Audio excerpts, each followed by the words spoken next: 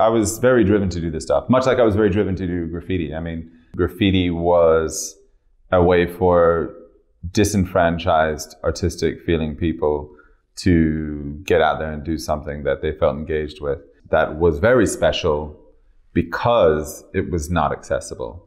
You would be arrested for doing this. In the graffiti culture that I was a part of, this was in some ways like a point of pride, like that you you had to you had to risk something to do this. And that was what part of what made it special.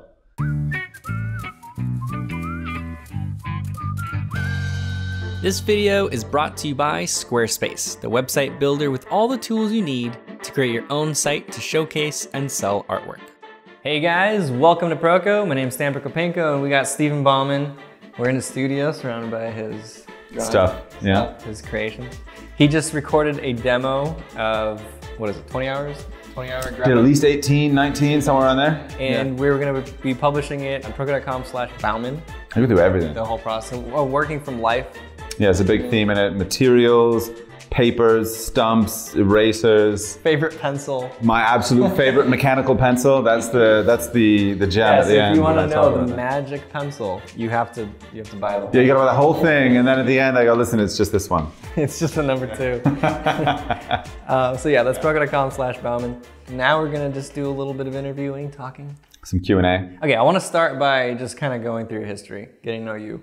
Yeah, So start at the beginning. I was born on a day on a stormy day, July 13th. Were you? Uh, It could have been. I'm not sure. Oh, I thought that was. But I was no, I was actually so I was born in Memphis, Tennessee. But uh, when I was about five months old, my family moved to Miami.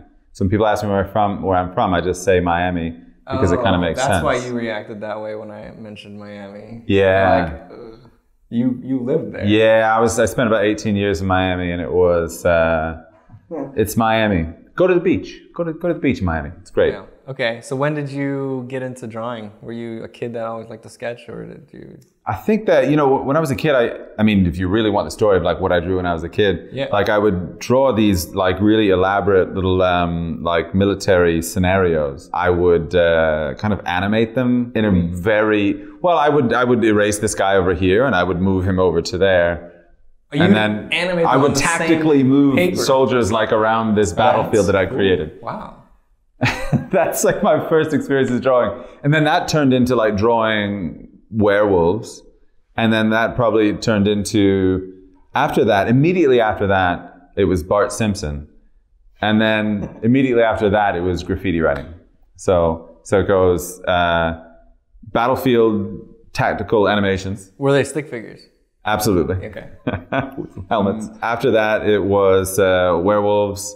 After that, Bart Simpson, graffiti, and then uh, I don't see a, a linear progression or. I hit I hit a lot of different spots on the map. No, my brother was a graffiti writer, so I would go into his room and I would take his drawings and I would copy them. How much older was he? He's uh, six years older than me. Okay.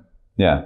Um, so he was like kind of uh, very active in the graffiti world in the in the 80s, and I would kind of take his drawings and I'd copy them. And Was he active like at night? Like you, you he was active like a graffiti writer is active. Like just you go out and you you, you run away. and- That's what graffiti writers do. yeah. Yeah. He was also a skateboarder, so in a way, like I kind of followed in his footsteps a bit. How do you Um, make a living with that? graffiti writing and skateboarding? No, no. I think you're like Do you Uh, have to be um, what's his face? Bank, Banksy.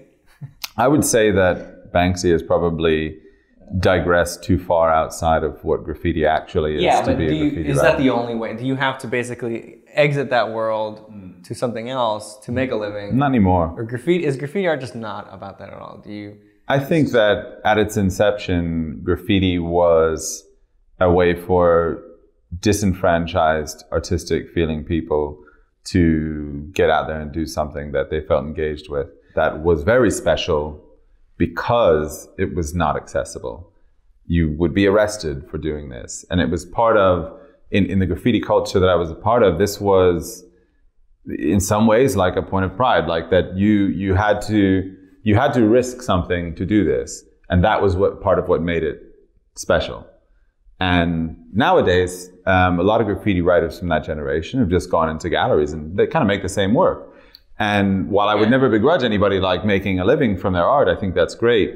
we have to say probably it's not really graffiti exactly, Right. right? At least what graffiti was at its inception. But they're doing the same thing. Pretty much, yeah, now, yeah. Not on a on a wall, but yeah. on a. And now there's another generation of artists, graffiti artists that have come along, and they've kind of grown up where graffiti was like uh, an acceptable, acceptable kind of visual medium for like art galleries, and some of them go straight into that, which again I think is great. Go for it, expand the the the, the world of that visual world.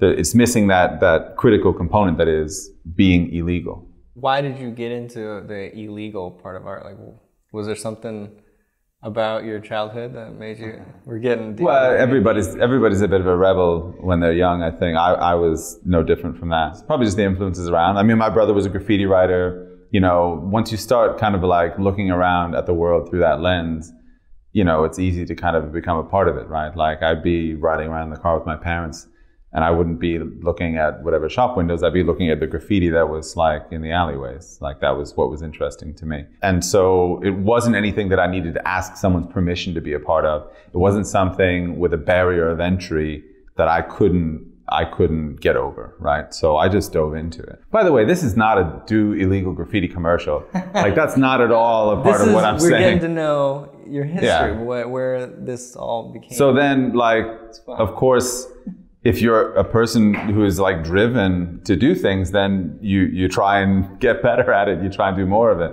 In that world, there was the the prospect of fame, right? And loosely described, you could say it was when other graffitis, uh, graffiti writers hear your tag or whatever, they know you. Go, oh yeah, I've seen that here, here, and here. By writing as many different places as you could in as prominent a place as you could get it in, as noticeable a place as you could be, that increased your level of fame in a sense, Yeah. right?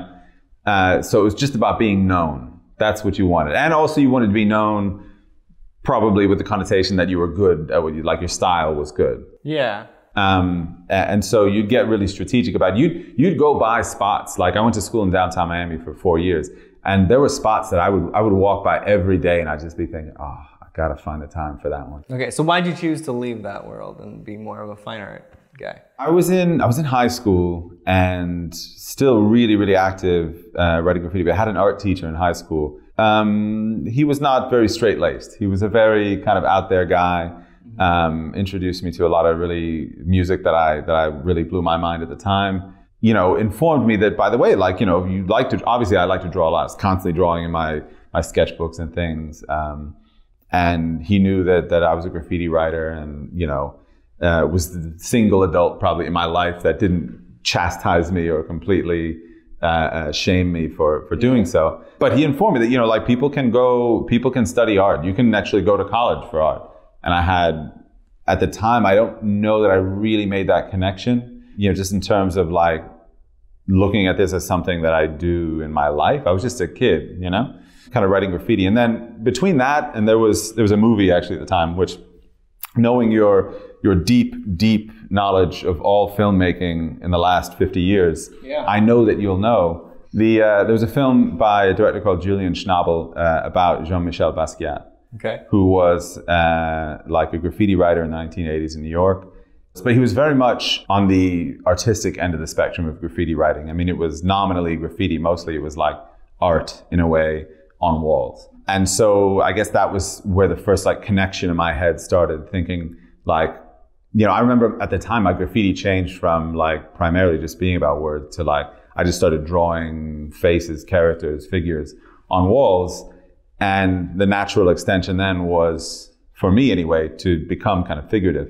And I think also there was, there was a thing about the graffiti world where quality matters immensely.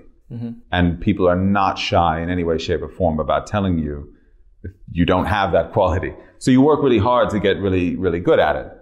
And so when I kind of entered the, the kind of fine art world, when you think about having skill, like graffiti writers, it's a lot about skill. Uh, so when you think about how, like what artistic discipline requires you to really hone a skill and a craft and a style, well, it's, it's, it's representational work, right? So I started getting into figurative work and portraiture and things through that. Um, and then while I was at college, I eventually heard about the, the Florence Academy. You know, I did printmaking, I did painting, uh, figure drawing classes. And by the time I'd finished all of those, I think I had like two academic courses left to get my associate's degree. And by this time, like I, there was, I knew what I was going to do. I wasn't going to go into, um, I don't know, some other field where liberal arts degrees would be accepted. I was going to be a painter in one Yeah. form or another. Um, so I just left and I, I just went to my studio to paint. I went back Yeah. to Miami, got a studio, uh, lived in it for uh, a couple of years until I went to the Florence Academy. So that high school teacher that you said that Mm-hmm. kind of shifted your your path a little bit. Well, if he was not teaching there, what do you think you'd be doing? Man. Uh, at the time, my family w- was uh, less than subtly encouraging me to go to the military. Um, because I didn't really, again, I didn't, I'm sure from their side, I wasn't really exhibiting anything Any that, promise. that like said, oh, just go to UCLA or go, you know, Yeah, go become an a doctor. Yeah, like that wasn't, they probably didn't have much ex- expectation about that uh, for me. But I was, again, I was just really kind of deep into this kind of graphic world and, uh, and I just wanted to draw and I just wanted to do that stuff. And in some ways, like the, the singularity of, of that interest helps because you're either going to get really good at this thing or you're not going to be good at anything. Yeah. So I dove in like completely uh, in that time. And when I went to Florence, it wasn't like, "Oh, I'll go to Florence and I'll try to have a life as well and I'll do, I'll have family and this and that. It was just live in a basement, live in the studio, like just be there constantly. And that was, again, you know, an asset, you know, that was maybe rough at the time, but, but it was an asset later. Okay, so how long were you at Florence then? Uh, I went there in 2004, and I, I technically studied for four years. When I was uh, in my third year studying, I started becoming, I was a student teacher.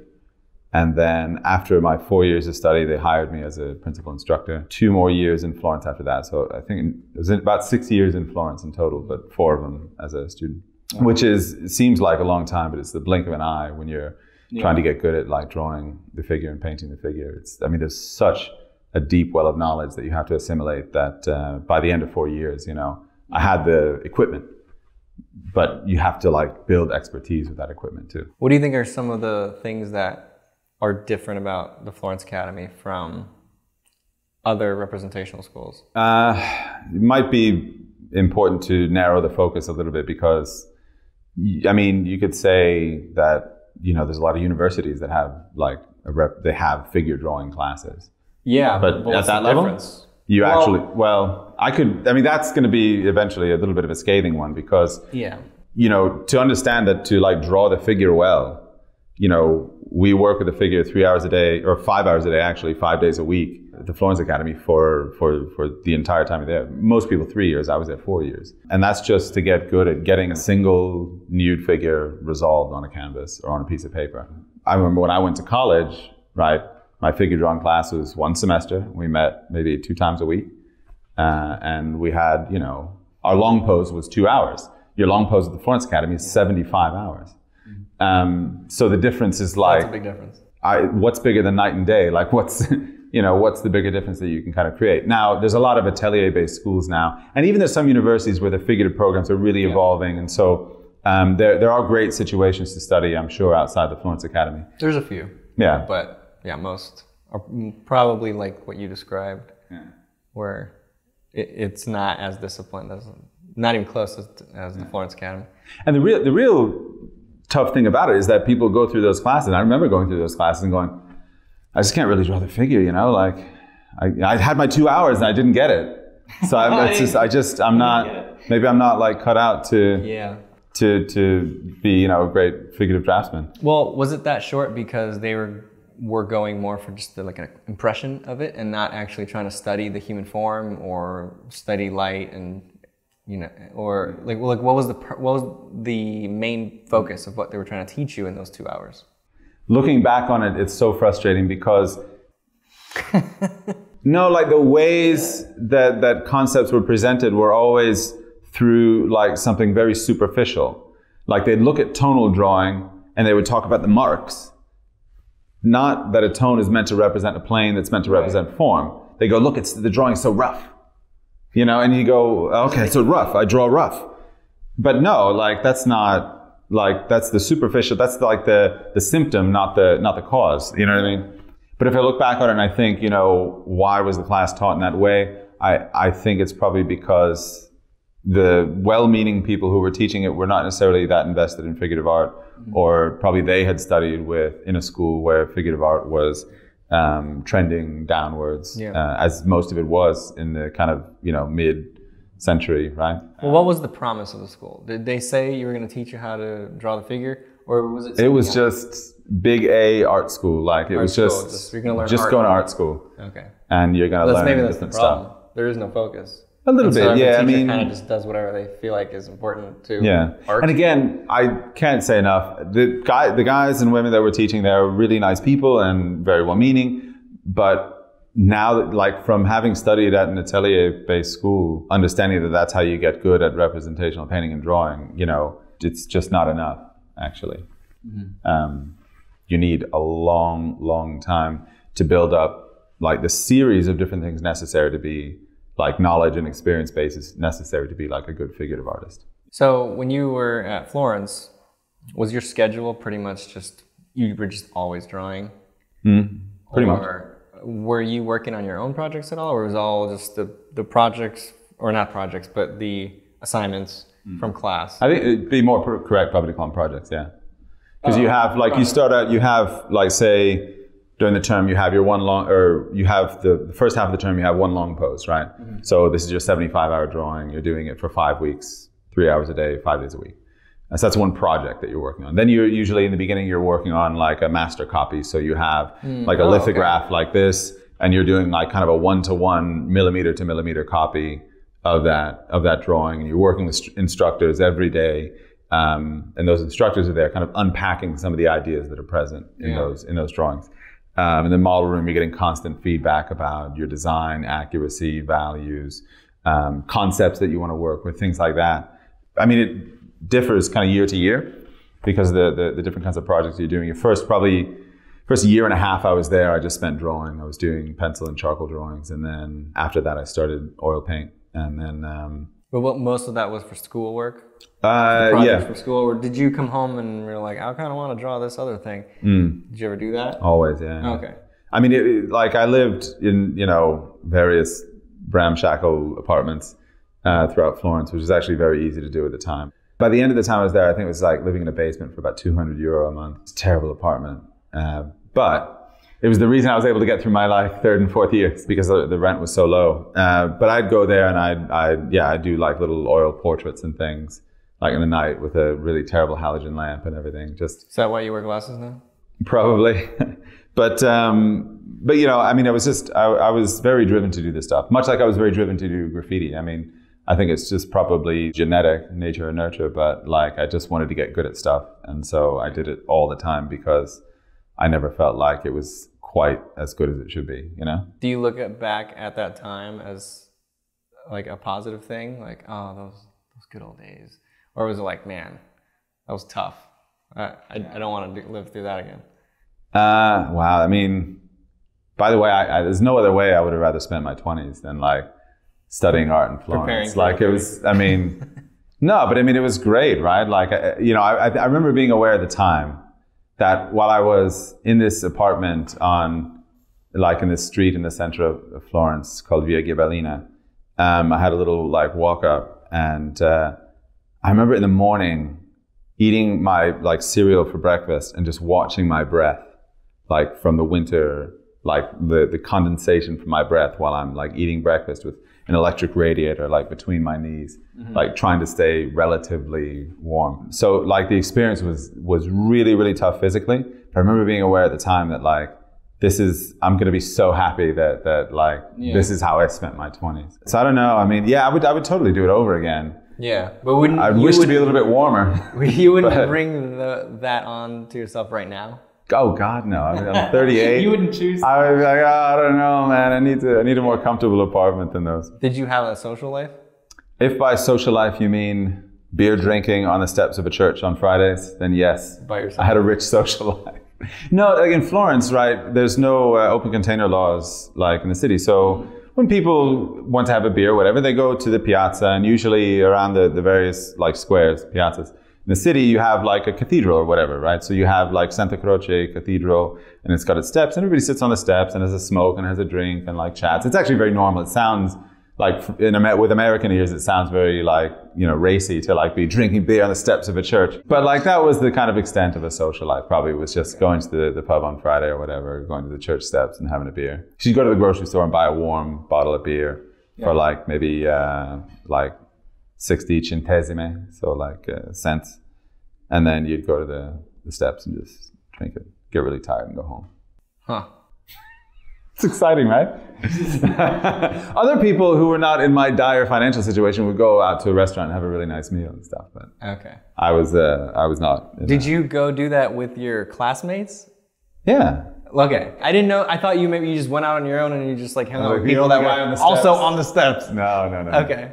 So you went there with your friends. Yeah, You guys yeah. hung out. Yeah. Okay. Yes. You should have phrased it like that. Sorry. I went out with my friends and we hung out on the steps. Yes.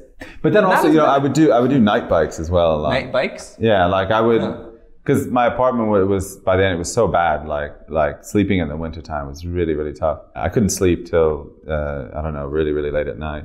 So I just go out and like bicycle around the city until I was exhausted. The cool thing was is that at like three in the morning, Florence is just completely empty. Yeah. Um, so you, you just ride around the city like you're the only person alive in it, and that was great. Then I'd be exhausted. I'd go home and fall asleep eventually. But That's there's cool. a, there's a No, lot of really. Florentine stories. Yeah, yeah, like that. Hmm. Gives a lot of insight into.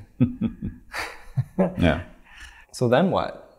so at the point at that point in time the the system was that advanced students who were doing really well um, would potentially be invited to be a student instructor Mm. as soon as i realized that was a thing i was completely set on that happening. And so i just followed the path of you know how do you how do you get to that?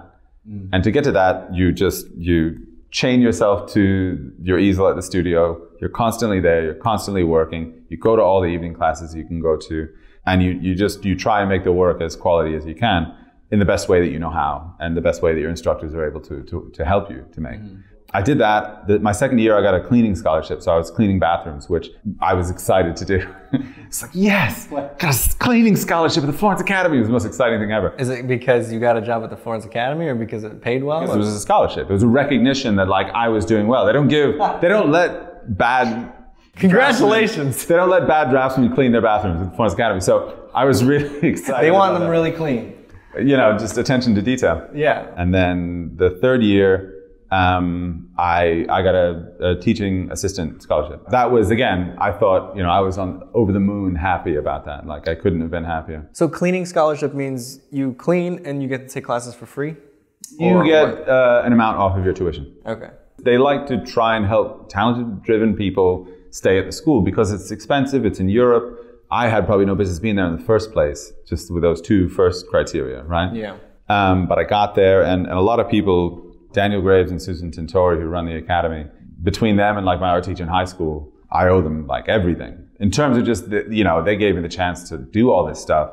Without those scholarships, without well the existence of the school, you know, this stuff just doesn't happen. So I mean, I'll always be really really grateful about that, and all, of course all the people that, that all the teachers there that, that help you along the way as well. It's just um, it's a really great community, and and I just I feel incredibly fortunate to have like gone through it. Uh, in particular at the Florence Academy as well. How many people get the cleaning scholarship a year? Uh, I think each studio has to be cleaned once a day, and if you have a clean scholarship, you're doing it twice a week.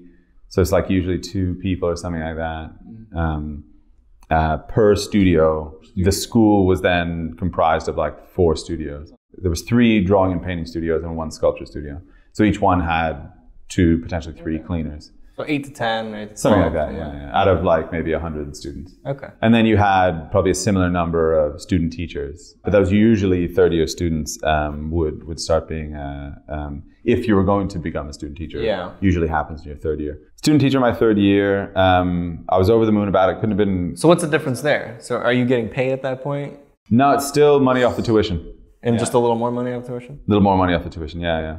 And then also, you know, the really cool thing about it is that that one, like, of course, you get to kind of codify your your reflections about the education by working with other people on understanding it, right? Oh yeah, teaching is one of the best ways to Um, learn. and then because you're an assistant, like you're going to assist one of the one of the teachers that's been there longer. I was actually working with Simona Dolci, who's the, the director of the drawing program there. But so we used to hang out a lot, and you know, again, that was a really huge influence on me. Also, like being uh, like Florentine, she had a much different perspective about art, and in particular, like classical figurative art, than really anybody else that that I'd talked to. You know, it's kind of a hundreds of years perspective rather than a, you know, who's painting the best alla primas right now kind of perspective so she was really full of wisdom and and uh, again it was a great it was just great to be able to kind of absorb all that and work with her in her studio and stuff. It was it was wonderful because she was the the kind of head of the drawing department and I was assisting her on her teaching day. Yeah. so we'd have lunches together we'd talk together. Eventually I'd work with her in the studio and stuff. So you were there for five years or so, six six years. four years as a student two years after Six years. and then okay. the Motorino exhaust fumes and the sounds of the city just Yeah. became a little bit too much. oh, but then, well, then you became just full on teacher for two years, yeah right? So then, what did you teach? What was your first class? Um, well, the, the way that the Florence Academy is organized, it's it's just about uh, programs. So you have the drawing program, you have the painting program, sculpture program. You go through the program. So it's not like individual classes. Yeah. Yeah, you have to just take the classes that are are. Yeah, like your fig- next like one. figure drawing, you do for all the time that you're going to be in the drawing department. Then you move to painting, you just work with a figure and paint. Okay. Um, so it's not like you're not doing a portrait class and then this kind of class, then that term, that kind of class. The figure runs from day one to the last day. And then maybe in your in your individual studios, you'll go from copying lithographs to plaster casts to still life to uh, or to painting plaster casts to still life, and then to portraiture. Okay. So they start with a, a live model from day one. Mm-hmm. Okay. So, oh, okay. Because there's some schools that start with casts Yeah. for like the first year, and just no no live models at all, just cast. Then once you're comfortable drawing from something that doesn't move, studying form, then you move on to a live model, and you try to like capture that. But I wasn't like that. Yeah, day one they toss you in. Cool. It's, I mean, the, there's a good argument on either side of that. Yeah. You know, I mean, I kind of respect both sort of trajectories, but uh, what we did at the academy was, yeah, day one figure drawing. Okay. So then you started teaching the figure drawing portion of that. Yeah, like when I was when I was hired on as a teacher, like uh, as a what you call it, like a principal instructor, I was teaching in the drawing program. Actually, I taught in the drawing program all throughout my time in Florence. Okay. Um, I think I, they sent me for a term over to the painting studio. I taught there for a little while, and then I taught um, back in the, the drawing program. Uh, we spent, spent six years in Sweden. It was a really great time. Um, and then I don't know, it's just time for a new adventure. When you came here, is that when you got on Instagram? I was sitting in the office in Sweden, uh, chatting with um, the, the administrator there. Uh, and something about Instagram came up, and, and I didn't have an account. I'd never really even thought about it. So I just said, oh, okay, I'll do an account. I've, I've thought a number of times about why, like, why I have as many followers. I don't know exactly why. Like, Shut up. no, no, no, no, no. no. But like, listen, on. there are great painters. There are amazing artists that don't have a massive Instagram following. So so after like the first few posts, you were you're at twenty thousand. by the time I had like 15, 20 posts, I was hmm. probably I was I was getting like quite up there, and and I just Yeah. Each one of these is is is amazing. So I, I'm pretty sure that one or two of these probably just got onto like the the recommended page or something. back then the recommended like the trending pages were I, I think that they they were filtered in a way that was much more direct. Yeah, but that's you, you you post quality work like that regularly, and you Yeah. you're gonna hit a few that just shoot you up. Not not at first actually. I, like I said, when I got to New York, I started taking it seriously because I was like getting around like 70, 80,000 followers, and I was like, maybe maybe this is a way that I can maybe this can do something. You know, maybe I can, you know, it can be a part of my art career. Were books a big part of your studying, or was it all about you go to class, live model, you draw, that's it, or did you study theory through books? Ah, studying theory through books. Yeah. You, you have to read, uh, when you get to the Florence Academy, you have to read uh, The Practice and Science of Drawing by Harold Speed. Okay. Um, this is a book that, that everybody kind of, uh, at the very least, leafs through. Um, you know, it has a, a lot of really fascinating ideas. Everybody looks at Vanderpoel's classic book on, on figure drawing. As far as like where the theory came from, it was very much one to one with your instructors. Um, because while these books did expound ideas that we were working with, It's not that the school was a synth- synthesis of any of those, or the school's education was not a synthesis of any of those books in particular. So we had our own kind of aesthetic idea um, that was maybe based around maybe you know studying very well like Velasquez's ideas about sort of optical impression and Sargent's ideas about. Where did you study that?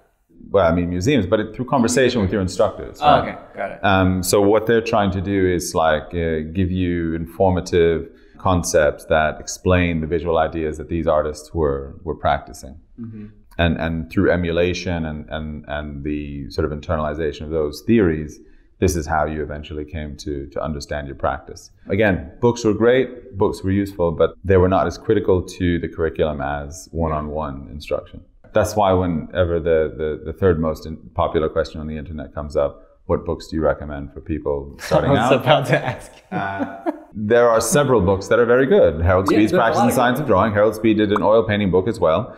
Um, Vanderpoel's book on drawing is really good. Um, if you, you know, if you want to learn about anatomy, obviously proko.com is fantastic.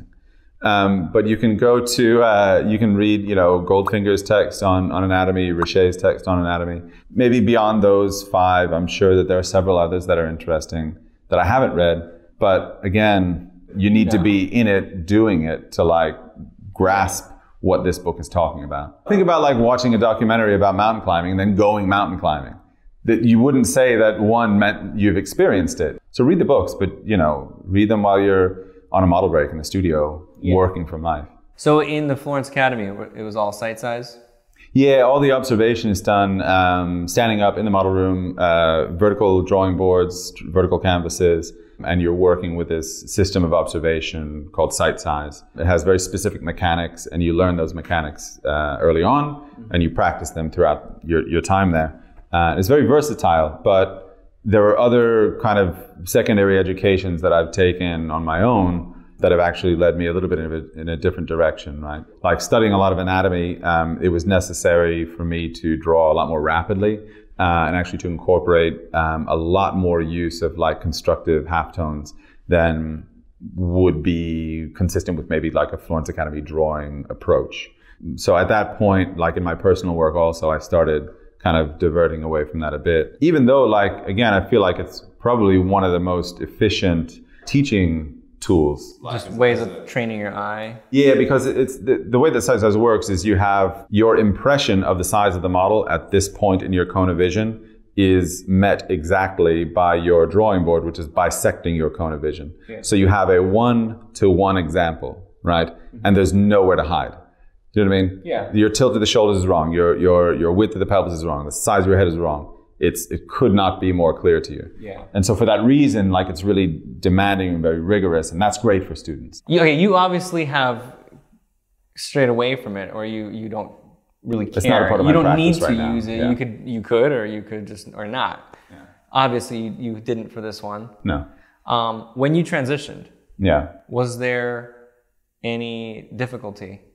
in drawing yeah. more. Oh, there was. Sure. So you had to yeah. train yourself to yeah. not do sight size. I had to train myself in some of the things that are not as necessary in sight size. When you're working in sight size, you can really rely a lot on your measurement and immediate comparison to create construction. So if you, your entire sort of shoulder chest area is just bathed, washed in light, you can really draw a lot of that just from the contours of it and maybe the shadow edge. Mm-hmm. The reality is that if you're sketching that, those contours are way too far apart for you to have any rational connection. So what you need to do if you're sketching is you need to work with the pit of the neck, the center line, connect, you know, the clavicles to that, which bring you out to the top of the shoulders, which brings you to the deltoids, which shows you where the pectorals are, which brings you back to the center line, right? So all of this stuff gets connected that way. In sight size, it's not immediately necessary to do that.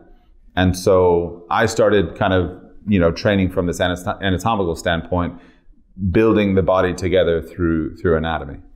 Once you did start getting out mm-hmm. out of sight size, mm-hmm. like what did you have to do mm-hmm. in order to get more comfortable doing something like this? Yeah, it was it was all about using like both anatomy and basically halftone planes to kind of uh, construct believable volumes, right? Okay. And and to try and become uh, uh, very specific early on using those because I wasn't using any any almost any kind of measurements. I might do a little bit of a comparative height versus width, um, but beyond that, I was just relying on connecting together the shapes and bony points that I that I could observe. And and using my understanding of maybe like the logic of the body, right? So if you think about structural symmetry, even if I'm looking at a body and foreshortening, I can understand that I should like there's a clavicle here, a clavicle here. If I can create that alignment appropriately, I can show the foreshortening partially through that.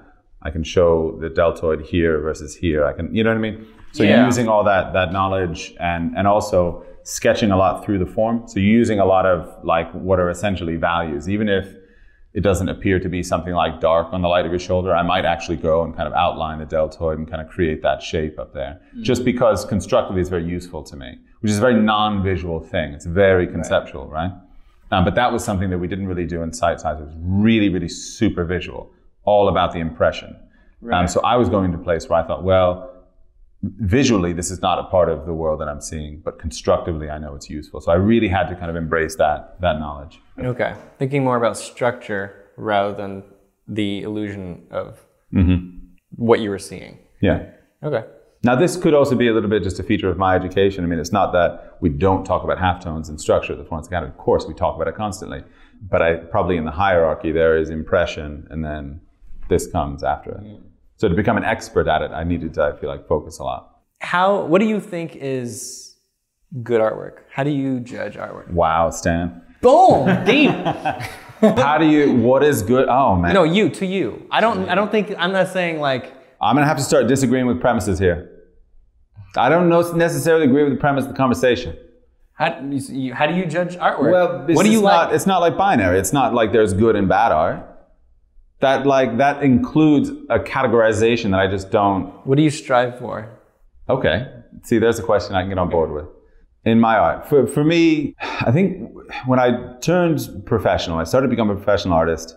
I'm definitely inspired, but I'm not inspired every day. Not everybody's like inspiration is not a thing that it perpetually lives within you. Mm-hmm. So a lot of the inspiration you find in the work, in the craft, in the day to day, in the materials that you're using, um, your exploration those materials, using those to the best that you possibly can. So a lot of what I, I I'm passionate about in in the work is um, being able to access whatever notes I need to hit to make the kind of song that I'm trying to make, right?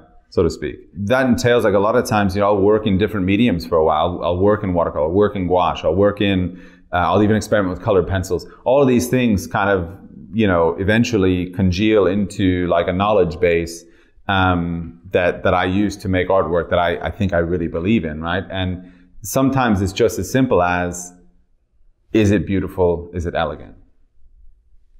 Is the design succinct? You know, if you look at this, is there any wasted space, any wasted energy? Have I made this this portrait like everything that I could make this portrait? Yeah. That entails along with it, I think necessarily my feeling about it. These are all my choices, my taste. So when I think about my art or my artistic expression, uh, it's not a statement. It's it's more a product of every other thing that I do. What comes out of it is this expression, and I can't really put it in a nutshell. But I can say that that when you look at the work itself, all of these things, all the years that I've spent compiling experiences and knowledge, all have gone into each one of these expressions Yeah. which creates a difficult circumstance because I can't say it's about this. It's about my life. The whole thing is everything that I've done leading up to this. It's about that. Yeah. So your work is mostly, or you put a lot of focus on just aesthetic appeal of the piece. Very much so, yeah. Okay. So I mean, that's kind. That kind of answers my first question too. It's like, how, what do you think is good art? narrative? Like I'm not necessarily telling Sure. telling Yeah. stories or illustrating a story um, or or a character in history. You know. Yeah. Um, it's it's a lot more. It's more just a, um, a combination, a long, long, long, long, long equation. Uh, the sum of which is that painting. It's not easy to say that I just try and make things succinct and beautiful. Yeah. that's tough to like. You know, you, you saw this horrible uh, pamphlet in the in the cafeteria upstairs. How do you justify art? okay, it's a horrible question, but if you asked me, I'd just have to say, I think beautiful things make people's lives better. Yeah. I think that living with beautiful design in your life makes your life experientially better. Mm-hmm. And I think that we accept that in so many other other realms, you know.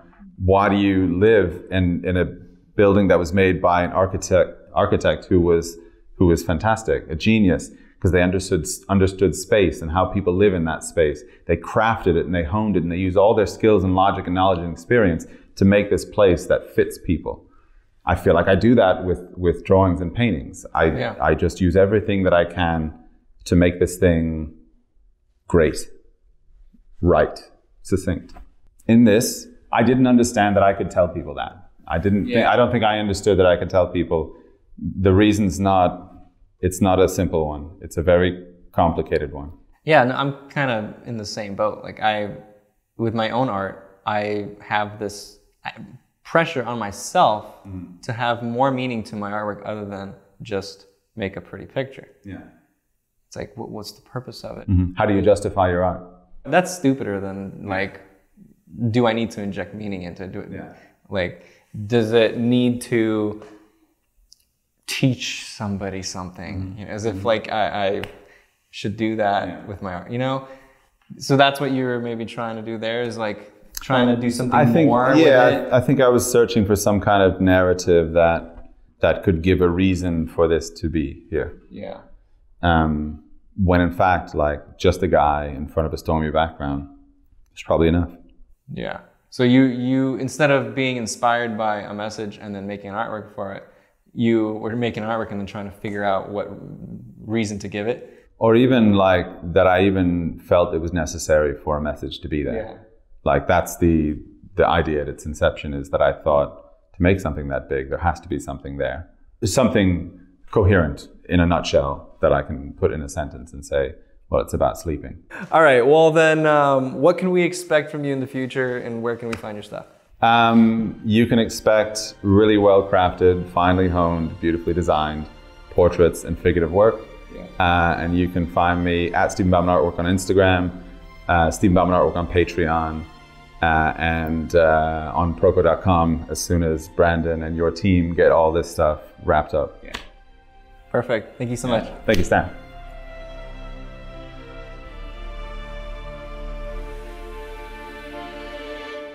Thanks, Stephen. That was great. You know what else is great?